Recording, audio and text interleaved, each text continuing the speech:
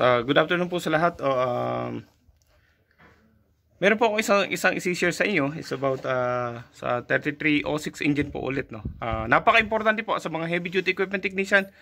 Guys, napaka-importante no i-share ko sa inyo na to. Uh, I'm sure makakapulot kayo sa akin ng ng ano ng ano ng uh, experience no. Uh, pero bago po ako mag-umpisa is uh, syempre subscribe muna kayo sa channel ko. Subscribe, like, and share. Ano po. Um, please support my uh, YouTube channel, syempre. Uh, Biok TV Vlog. So, ito na nga po isi-share ko sa inyo. And uh, sana po may mapulot kayo. Okay? so, ito po yung ano, injection pump ng 3306. Okay? So, ang gagawin ko po dito is uh, tatanggalin ko po siya uh, kasi i-transfer ko po siya sa sa D6R. So, bago ko po siya tanggalin, kinakailangan naka-timing muna siya, no? Kung nakikita nyo po yung slot na yan, okay, yung slot na yan, ano po, mayroong time, mayroon po dyan na, ano, slot na naka-top dead center siya ng uno. Kinakailangan natin yung, ano, uh, bago mo bunutin na injection pump na to, naka-top dead muna siya, naka, naka, ano ko muna, naka-pin ka muna dyan. Para pag transfer mo sa ibang, uh, sa ibang engine, kinakailangan na uh, exact sakto na siya. Ano po? Ah, uh, yun nga po ano. Uh, so, Serge, please turn a little bit. Turn. Okay, turn down. Down. Yeah, turn down. So, ito po siya, no? Dito po isisiksik yan. So, this way, ah. Yeah. Okay. Down. Down. Down. Down. Up a little bit more. Down. Up. Just a minute. Uh, uh, little bit more down. Down. Da, ay, sim sim ya. Down. Hop. Down, down, down, down, down. Okay, hop. Uh-huh, a little bit more. Okay, sway, down, sway ya.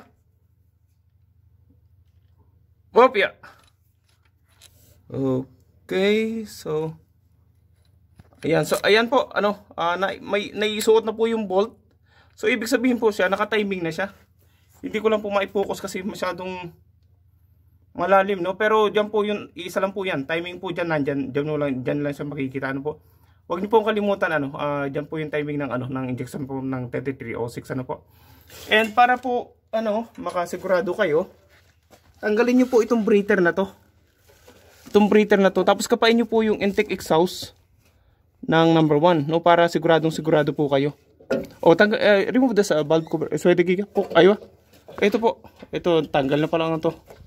So, makamalog na po yung pre, no? Pre na po itong ano, uh, intake exhaust. O, kung titinan nyo po yan na gumagalaw na ang intake exhaust ng ano, ng number 1. Ang ibig sabihin po niyan, pwede na nating tanggalin ang injection pump. Ano po? Kasi naka-timing na po tayo ng ano, naka-timing na po tayo dito sa injection pump and naka-top dead center po na po tayo ng uno. Ibig sabihin, 0-0 na po siya. Ano? Pwede na, na po natin bunutin ng injection pump. And kung ikakabit na po natin sa iba, wag na, wag na po natin uh, baguhin. No? Lagyan na lang po natin ng bolt na para hindi siya mag magbago. Ano po? Ganun lang po yung, ano, yung may share ko sa inyo. And hopefully na ano, uh, may mapulot kayo dun sa sinishare ko sa inyo. And alam nyo naman, ano, bilang heavy, isang ano, heavy equipment technician, uh, sa akin po, kung ano meron ako, isi-share ko sa inyo. To be honest, no, uh, wala po ako itatago. Sa ibang mekaniko po, hindi po kayo makakakita ng ganito. Kahit anong gawin nyo, no, hindi po kayo makakita ng ganito na isinishare ko sa inyo yung, ano, yung sekreto ng isang makina. Ano po?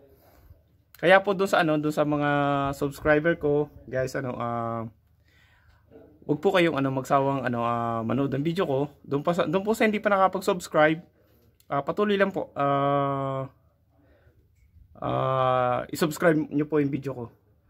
Doon po sa mga ano sa mga viewers ko, uh, thank you so much guys no. Uh, walang uh, walang tigil na panonood niyo sa video ko. Uh, I appreciate ano, alam ko na na ano na para sa inyo uh, hope na mapasaya ko rin kayo ano po. So, Serge, that's okay ha? Yes. Yeah, thank you so much ha. Now we're going to remove the injection pump. So, ngayon po tatanggalin na po namin ang injection pump. And uh, para ma-transfer ko po sa isang ano sa sa D6. Ita-transfer ko po ito sa D6 sa D6R. Kasi ang nangyari po doon sa D6R, uh, Yun nga po ano, ah ayun na pong bumalik yung kanyang ano, ah, rod. Naka lagi po siya naka-stop naka sa stop position nag, nag ano. Hindi po siya magi-start. So ang kinakailangan po mapalitan ko siya tapos ipa-overhaul ko po yan, yung bago yung injection pump na yun. Tapos saka ko na lang po siya ibalik. So yun nga po ano, ah ingat po tayong lahat and uh, syempre napakaduwi po ng kamay ko ano. Ito po yung buhay ng ano, isang technician. Uh, uh, madumi pong tingnan pero ano po, uh, dito po tayo no. Uh, dito po tayo nabubuhay ang ating pamilya. Dito po tayo uh, nagiging masaya sa trabaho na to ano po.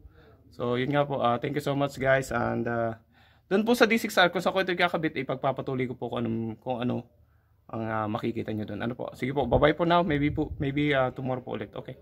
Bye-bye. Thank you. Bye-bye. Good morning guys. Uh, Bayok TV vlog po ano. Uh, maganda umaga po sa lahat. So, andito po ngayon ako sa field uh, tulad po nung nabanggit ko kanina no. Um, yung injection pump po na tinanggal ko do sa isang equipment na parehas ng makina nitong uh, D6R na to is uh, pinakakabit ko na po dito.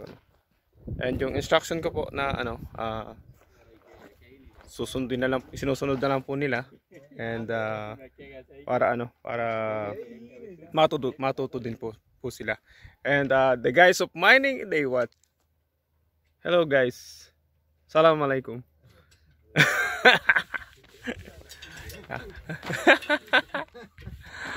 yes uh, actually suwede giga ay kalas okay? Possibly 30 minuto. Ay sukol machine. Actually sukol hinak uh, okay. Mashallah. Syukran ha. Ay. So, ito po sila. Ano, pinakakabit po yung, ano, yung pump. And siguro po mga about um, uh, 15 to 30 minutes po uh, papandarin na yung po siya. No? Hopefully na ano, uh, okay siya. And siguro mangyayari yung adjustment na lang ng, ano, ng RPM. No? Yun na lang yung i-adjust namin.